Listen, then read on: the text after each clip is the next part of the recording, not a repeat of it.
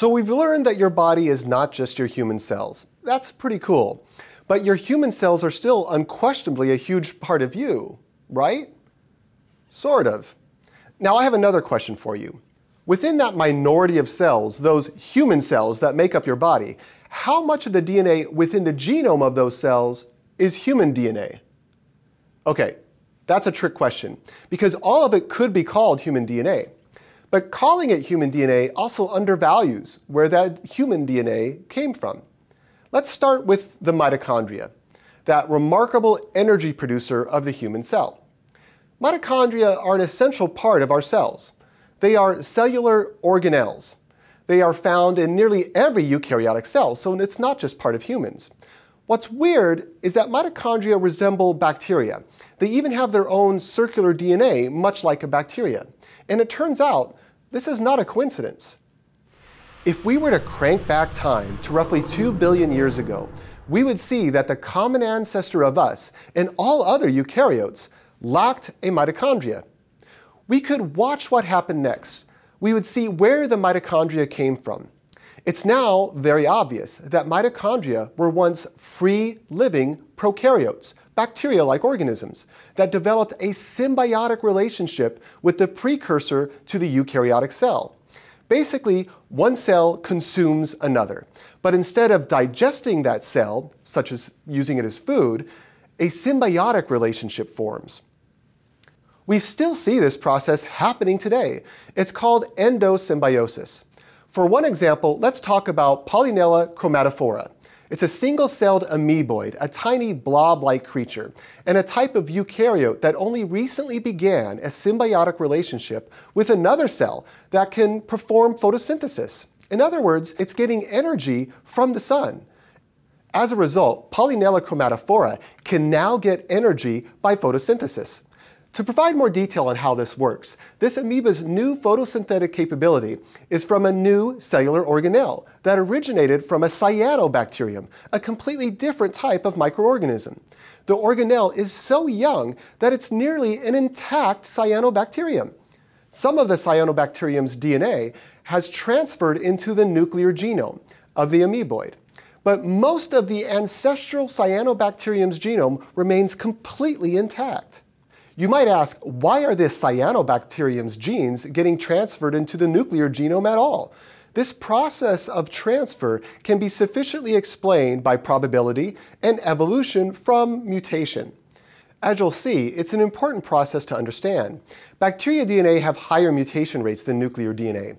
In essence, a bacteria cell is a less stable environment than the more complex compartmentalized eukaryotic cell. When a gene from the bacteria gets duplicated by chance, it may end up by chance in the nuclear genome. These duplication events are quite common types of mutation. Also, having two copies of the same gene is often inconsequential. Epigenetic aspects of the cell can typically handle that. Because mutation continues to be high in the bacteria-like organelle, there's now a greater chance that the gene that remains in the bacteria will get a mutational damage or potentially get deleted. If that happens, there's no harm because a backup copy of that gene is in the nucleus. Overall, we see that endosymbiotes increasingly have their own DNA held within the nucleus of the eukaryotic cell, rather than remaining in their own structure. In humans and most eukaryotes, mitochondria have evolved to have more of their mitochondrial genes in the cell nucleus. That is, they are mitochondrial genes, but they're no longer in the mitochondria. Using evolutionary principles, we can find these important mitochondrial genes. Because mitochondria are major powerhouses for our cells, it's important to find these genes. These nuclear mitochondrial genes are involved in a wide range of important functions, and variation at these genes explain a wide range of metabolic diseases. Overall, the mitochondrial genome is less than a tenth of its original size. If we look at what remains of the mitochondrial genome, we find the free-living ancestor that they have today. It belongs to a group of bacteria known as Rickettsiales. Rickettsiales bacteria are very fascinating. In fact, many of these bacteria survive by endosymbiosis even today. And some members of this order of bacteria are also famous pathogens, causing diseases such as typhus and spotted fever. In other words, the major energy producer for our cells, the mitochondria, has quite a few black sheeps in its close family. So the human cell, like nearly all eukaryotic cells, can be thought of as a composite built up from an intimate relationship with prokaryotes. This evolutionary relationship is important to understand. Consider butyrate metabolism. Butyrate is a very important food for cells that line the colon of your digestive tract. Without butyrate, these colon cells would eventually die. Butyrate is made by free-living bacteria in your gut when you digest fiber that you've eaten. In other words, butyrate is a byproduct of your gut microbiome. You need it to be healthy. And guess who's involved in taking that butyrate and turning it into energy that your cell can use? You've probably guessed it, the mitochondria. I hope you've started to see that your relationship with bacteria is extremely complicated and very deeply rooted evolutionarily. Parts of your cells and your genome are quite literally built up from these prokaryotic foundations, and your intimate relationship with them remains until this very day.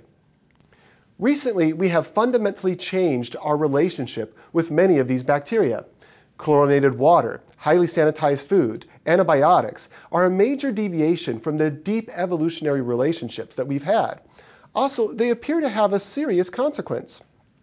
One of these consequences has been phrased as the hygiene hypothesis, which in brief argues that inflammatory diseases such as allergies and eczema and an extremely long list of other diseases may have been exacerbated in recent times because how we've changed our relationship with microbes.